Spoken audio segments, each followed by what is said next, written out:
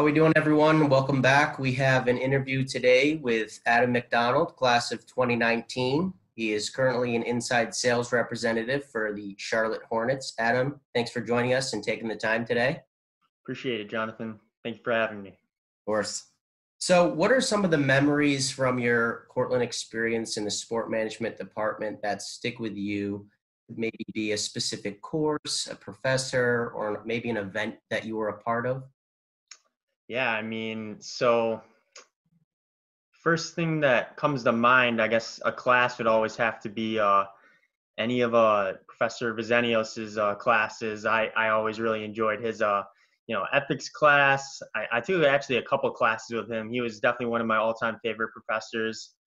Um, I guess like another thing that always has stood out in my mind was the Cortaca games. Yeah. Uh, I actually had the pleasure of uh, working under Mia Bonacore through my senior year, just working with all events. I was actually here. Uh, I actually helped her out setting up YouTube live streams and everything like that. So, you know, I kind of had a, a, little bit of a part in helping out with the Cortaca game that year. So, um, I really enjoyed doing that and just kind of, you know, learning a little bit more about that kind of stuff and learning about that rivalry I was always really into. Yeah, I think everybody really enjoyed the Cortaca games every year. Something we really look forward to. Yeah. Um, what What are some lessons that you've learned that still stick with you today in your current position with the Hornets? Yeah. So one of the things that I remember Professor Hahn was always, you know, really getting into us about was, uh, you know, always being being able to grind it out. Like, you know, nothing's given to you in this world nowadays. So, you know, everybody wants that same position. Everybody wants to, you know, work as hard as they possibly can. So the thing that I always took away from you know my time at Cortland and you know really every single professor was don't be afraid to grind it out. Don't be afraid to stay that extra hour. Don't be you know afraid to ask questions. Exactly.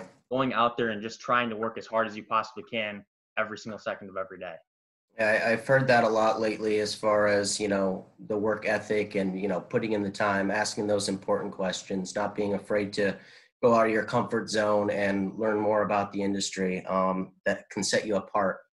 Um, as far as your your internship with Syracuse University, you were in ticket sales, correct?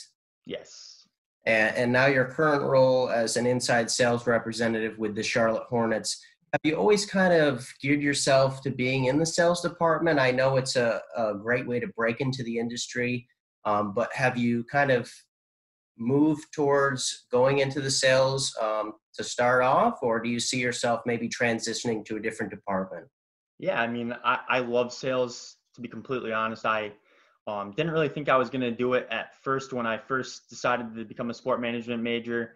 Uh, mm-hmm. But I actually took a, a class with Professor uh, Lawrence, and she, you know, really kind of showed just how, you know, essential it is for every single sports team to have ticket reps and you know get people out to the games and everything like that. So um, that really kind of drove me to want to do ticket sales and continue to actually do it because you know at, at the end of the day one of my main jobs is to help make sure that fans are enjoying themselves and that they're having the best experience possible when they do come out to the games and that's what i really have taken away from this whole process through sales is you know, as long as you can do do that, then you know it's a great job and it's a great position to have it be be yourself in. I guess I should say.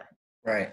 Um, I've I've kind of you know tried to mold myself and you know my skills into kind of going that route as well, uh, breaking into the industry with sales. So um, it's great to hear that some advice there with the sales department as far as your experience within the college setting at Syracuse and now the professional setting, how do you see them uh, differ or maybe compare?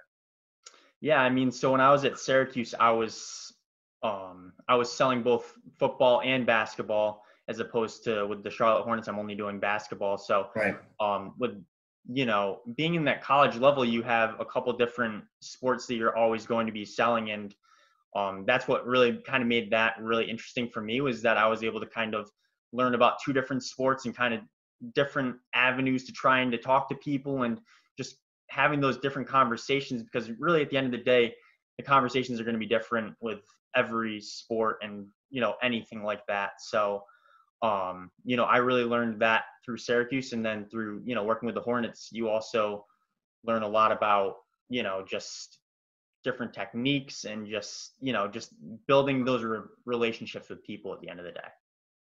Right. Those relationships are very important to keep, um, especially in the sales industry. I mean, um, what are some of the, you know, day-to-day operations that uh, occur for the Hornets before the pandemic, before this all happened? What were some of your daily operations like? Yeah, so I mean, an everyday like we were there from 8:30 to to 5. Um, we would, you know, like what I was saying, you go in there and you grind it out for as long as you possibly can, and you just try to get in touch with as many different people as possible. You try to build relationships, and you try to you know better yourself and you better you know the way that you're talking to people on your phone and you're just trying to every single day try to get on the phone with as many different people as possible so right. then you can you know work yourself through that process so that's what i always really that that's what i've do every single day what what's some advice that you can give um, you know myself and, and other students as far as breaking into the industry? I know you mentioned the work ethic and you know always reaching out to ask those important questions, but maybe something that you know you wish that you had coming into the industry that maybe you would give some advice to other students. Don't be afraid to take that next jump. I remember when um, you know when I first took the position with the Hornets, it was definitely one of those things that you have to to trust yourself and you have to know that you know everything's going to be fine and that you know as long as you go in there and as you work as hard as you possibly can you know and you trust that process everything is going to work out the exact way that it's supposed to happen and that's one thing that you know that I've really taken away from this time when I moved down here to Charlotte was that you know as long as you're working hard and that you're building relationships with the people around you at work and you're just you know like what I've said trusting that process, everything's going to work out. Now that we're kind of leaning towards the end of the pandemic, but we're still in the middle of it. What are how has it changed or altered your your position with the Hornets in Charlotte? Um, it really honestly hasn't changed it at all. We're you know still lucky enough that we're you know able to make phone calls from our from our houses and we're able to still get in contact with people and we're still able to you know build those relationships. And look what I said. I mean, we're we're talking as a as a team every day. So yeah. it's you know we're, we're staying in contact, and it's it's definitely one of those great things that you know it's it's really helped out a lot. Well, that's good. I mean, not all of us are you know fortunate enough to be able to continue to work in the industry because of this pandemic. It's great to hear that you're still able to work at home and um, sounds like you still have the main duties that you've had uh, before this pandemic currently going on. So that's good. Um, what are some? What's the culture as far as the, the Charlotte Hornets have there? I mean, uh, how has the relationships you've built there kind of molded you into becoming, you know, a sales rep? What's the culture like there? Very hardworking. We're uh, I I like to think of us as you know, whenever I say we're grinding it out and everything like that, that's exactly the way that every day is. Every single person that I work with in that that organization is every day it's a grind it out mentality and we're always working as hard as we possibly can to to do whatever we can to better ourselves and then you know at that same stage better a fan experience for them as well so that everybody's enjoying themselves and they're able to come out. Uh, where where do you see yourself where do you see yourself in the next maybe three to five years? Uh, I mean, hopefully, still with the Charlotte Hornets and just continuing to to work in sales and continuing to better myself and bettering relationships. Because I mean, at the end of the day, sales is one of those things that you can continue to work in for forever. Like it's one of those things that as long as you're able to, you know, build relationships and build rapport with people, um, you know, you can basically do it for as long as you want. So I mean, I love sales right now. I love being able to kind of have make people's experience at games that much better.